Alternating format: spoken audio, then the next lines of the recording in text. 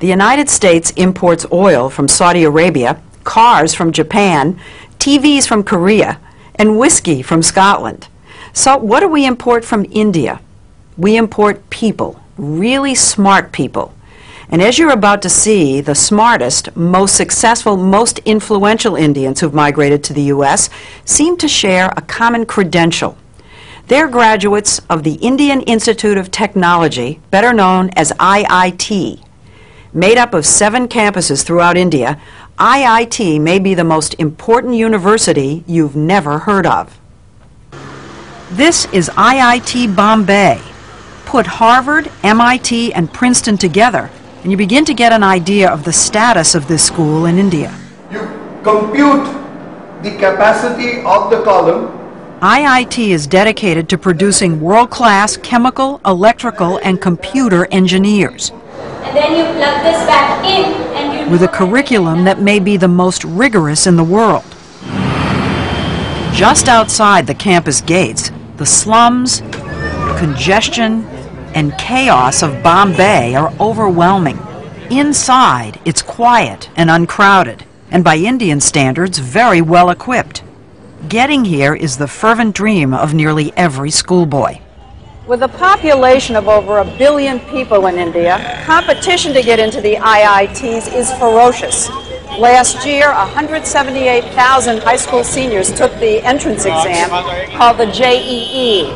Just over 3,500 were accepted, or less than 2%. Compare that with Harvard, say, which accepts about 10% of its applicants.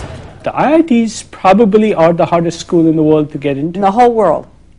To the best of my knowledge. Vinod Khosla got into IIT about 30 years ago. After graduating, he came to the U.S., co-founded Sun Microsystems, and became one of Silicon Valley's most important venture capitalists. He's one of thousands of IIT graduates who've made it big in the U.S. How significant would you say the impact of IIT graduates has been on the American technology revolution? It's far greater than most people realize. Microsoft, Intel, PCs, Sun Microsystems, you name it. I can't imagine a major area where Indian IIT engineers haven't played a leading role. Leading role? A leading role, and of course, the American consumer in the American business, in the end, is the beneficiary of that. It isn't just high tech. The head of the giant consulting firm McKinsey & Company is an IIT grad. So is the vice chairman of Citigroup and the former CEO of U.S. Airways. Fortune 500 headhunters are always on the lookout for that IIT degree. They are favored over almost anybody else. If you're a WASP walking in for a job, you wouldn't have as much pre-assigned credibility as you do if you're an engineer from IIT. 90% of IIT students are male, and the young men we met in Bombay know they're hot commodities. The American companies love the kids from IIT. Thank goodness. That's what we heard. That's what we heard too. After I leave IIT Bombay, I hope to get a good job. So it can be a ticket to another way of life. Yes. Yeah. Definitely. And a ticket out of India. How many of you think that you're going to end up in the United States? For a while, I think all of us would be there. Maybe At for some work. stage. At some stage. That's not the way it was supposed to be. I want my country to be strong.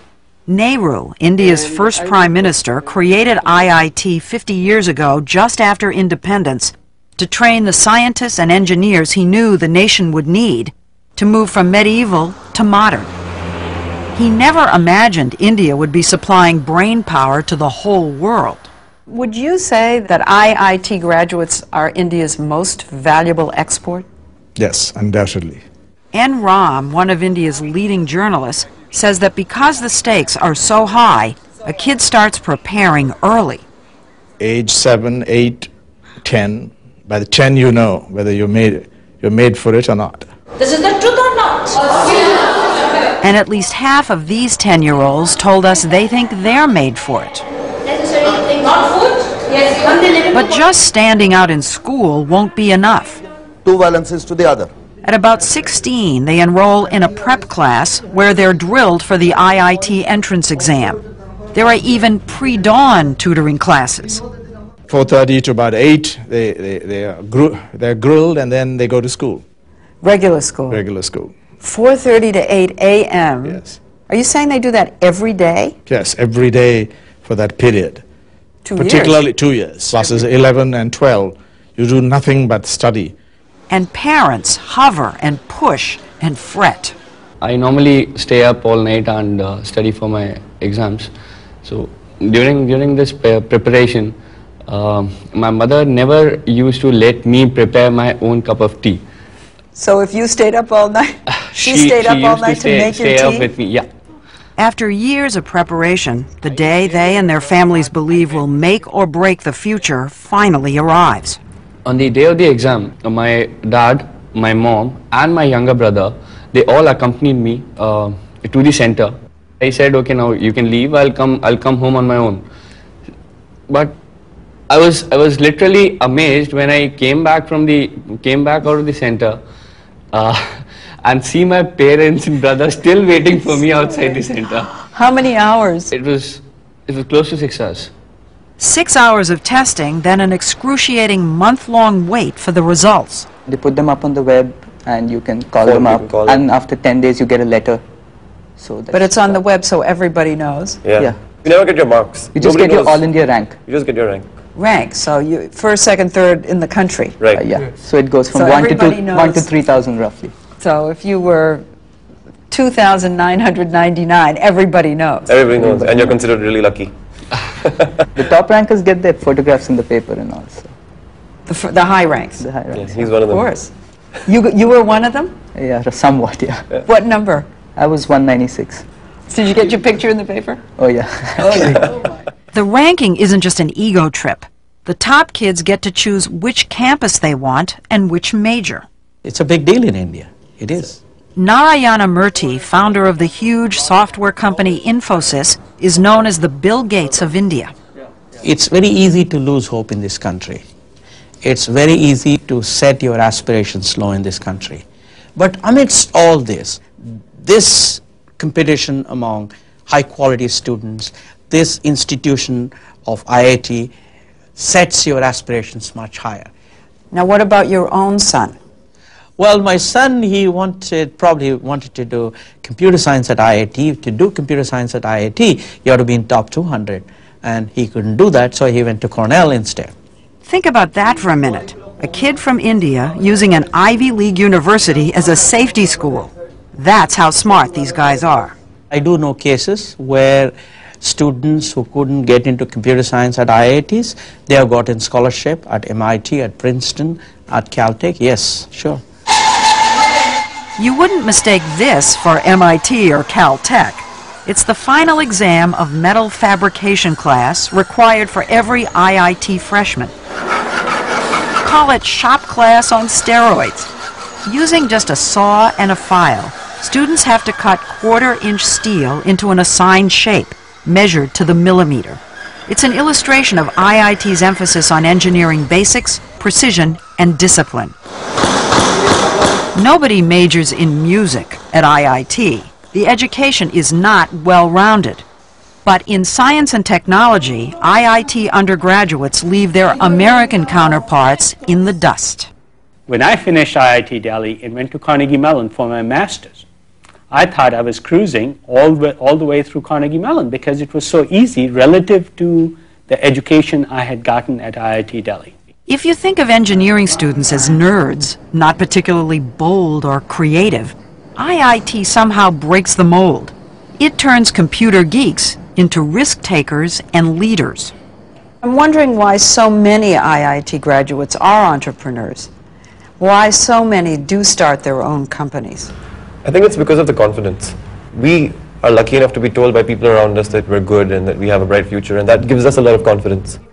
There's something else. Students act like entrepreneurs the whole time they're at IIT. They run everything in the dorms, which might be mistaken for cell blocks if not for all the Pentium 4 PCs. They organize the sports themselves. They even hire the chefs and pick the food in the mess halls. And unlike so many other institutions in India, they all know they're here because they deserve to be here. Can you slip somebody a couple of rupees and say, come on, get my son in? No, no, never. Impossible? Impossible, impossible. There is no corruption. It's a pure meritocracy. IIT may also be one of the best educational bargains in the world. It costs a family just about $700 a year for room, board, and tuition.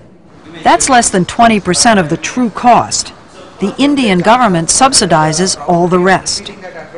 While some IIT grads stay and have helped build India's flourishing high-tech sector, almost two-thirds, up to 2,000 people leave every year, most for the U.S. Some people would say you're subsidizing factories uh, which produce largely for the higher end of the American employment market. So there's this debate here that says, why are we spending so much money to educate these brilliant young men who just leave? You don't have to be crudely nationalistic to raise this question. There's a d- need here, there's a demand here, and these guys are simply not available. How many of them ever come back? Very small percentage. But my view is that we also have to work harder here to make it attractive for them to come back. Murthy is doing his part. His software company, Infosys, hires about 150 IIT graduates every year to stay and work in India.